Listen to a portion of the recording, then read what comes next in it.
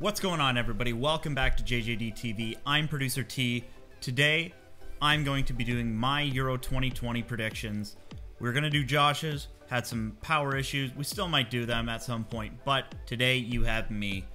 Not even a member video. If you want to get more videos of me, of course, then become a member at the Superstar Holland tier. We have, I think, two in there right now, and they're getting crazy good videos.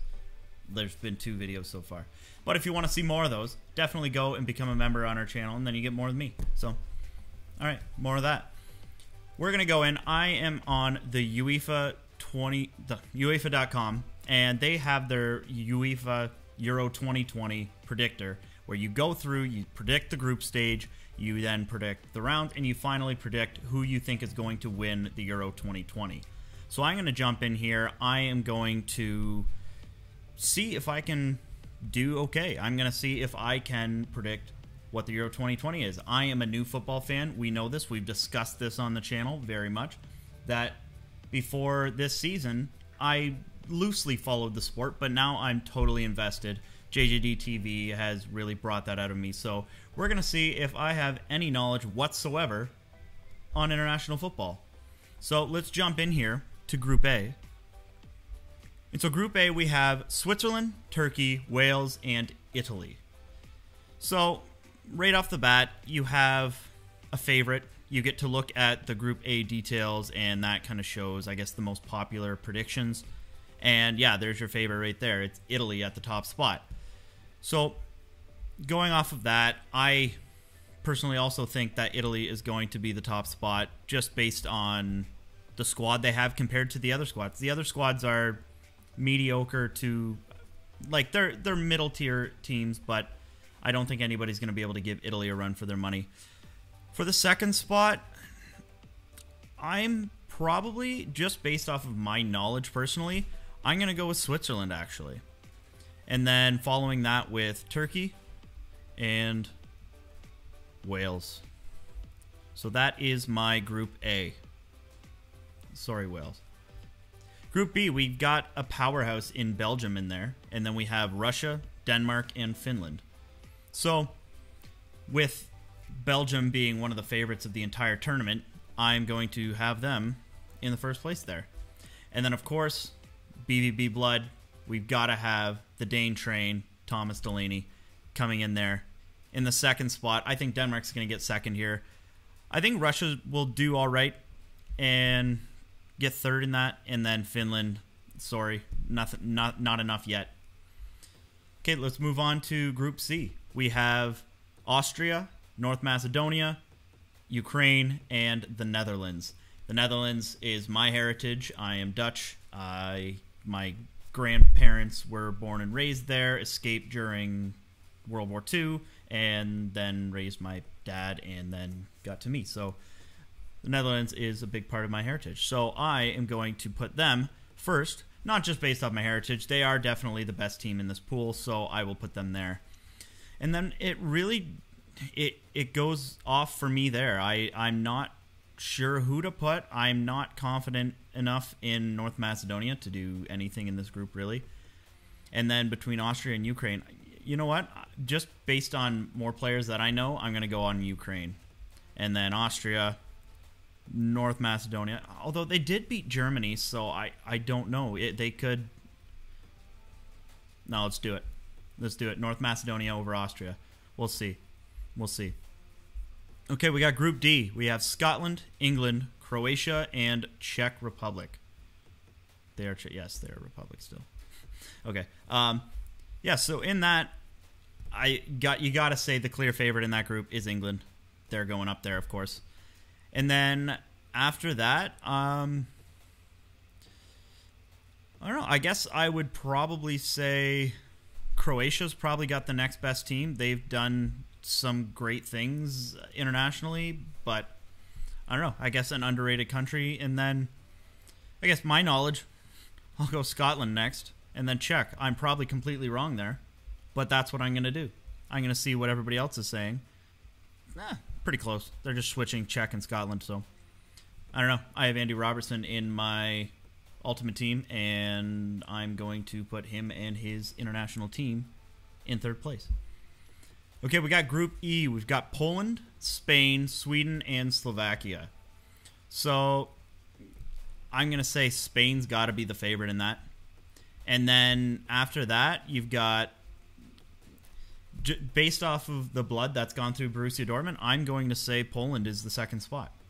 After that, we've got Sweden and Zlatan right there. He's coming. He's just defying physics.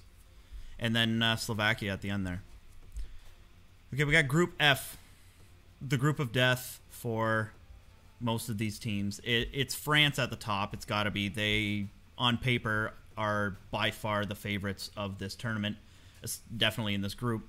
And then it goes down to Portugal and Germany, I'd say, for the second spot. And, like, Portugal's got some great pieces. Germany's got great pieces, but it seems like they're kind of in a in a transition phase that maybe not this year, but then a couple years down the line they're going to be a competitor. So, but you know what? I I'm gonna do it. I'm gonna put Germany in second actually, and then I got Portugal coming in third and Hungary in last. Good luck in that group, Hungary. I feel for you.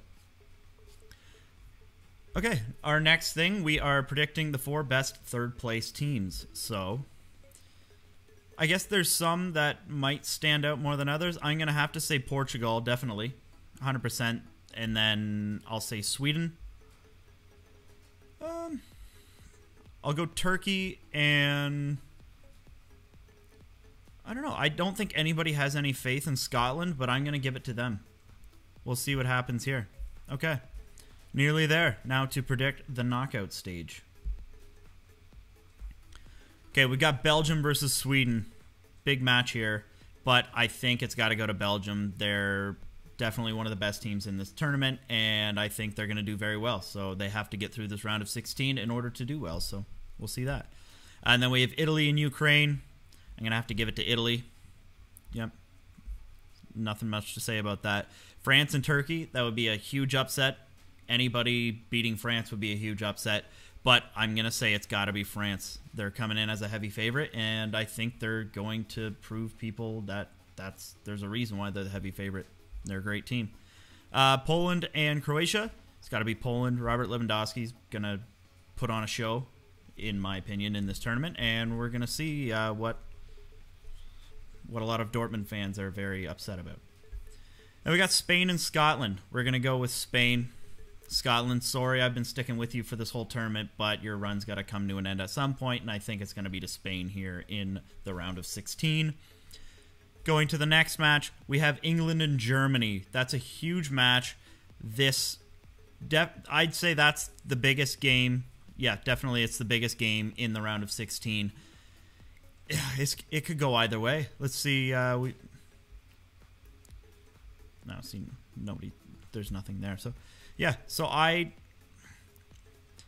I don't know. I think Germany is like I said earlier, they're in a bit of a transition phase, so I'm going to say England is going to squeak one out. That's going to be a tight game. I think it could be very close. It could even I don't know if it goes to penalties. I should probably have looked that up. But we'll see. We'll see. I don't know. It'll be very close now we have the Netherlands and Portugal in the round of 16, and with no Virgil van Dijk, um, I think that's a huge blow to the Netherlands back end, and I think Portugal is going to take them out here, unfortunately, because I would love to see the Netherlands do well. And then Switzerland and Denmark, we got to keep that uh, Dane train rolling, and I'm going to say Denmark's going to take that one. Could be very wrong on all of these, but we're going. We're going. We're figuring it out. Belgium and Italy these matches are getting tighter and tighter, and I'm going to have a harder time predicting every single one of these matches from here out, of course. So I'm going to say Belgium in this one because they are obviously a huge favorite as well.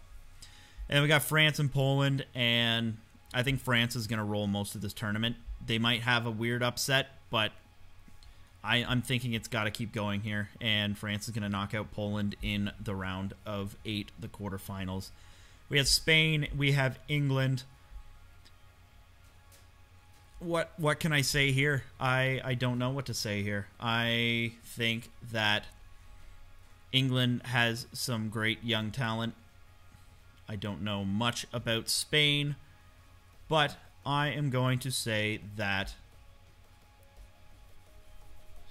Spain is going to win that one. We're going to see that. That wasn't any mini money mode. That was just, that was kind of a guess. And we got Portugal and Denmark. Sorry, Denmark. I think it's going to come to an end here. And we have Portugal. So we've got heavy hitters in the semifinals here. We have Belgium, we have France, we have Spain, we have Portugal. This this this is very hard to choose at this point here. I think here just based off of the rosters and the players that are in this, I, I think France is going to the finals. This is going to be probably the match of the tournament. Probably two favorites in the whole tournament, but I think France is going to beat Belgium to go to the finals. And they are going to play Portugal. Portugal has had an easier run compared to all these other teams in the knockout stage. And then it's going to come down to France and Portugal. And being obvious and new and picking favorites, I think France would be the clear winner of this tournament. So I'm going to give it to France. They've got an incredible team. Uh, it'll be amazing to see what they can come up with. So I guess those are my predictions for the Euro 2020 or 2021, whatever you want to say, because it is happening in 2021. But yeah, so I have predicted France. Let me know what you guys think. Leave a like, leave a comment. Tell me what you're thinking. Tell me who I totally messed up on. Tell me if I'm even close to what's going to probably happen in this tournament. I don't know. I'm a new fan.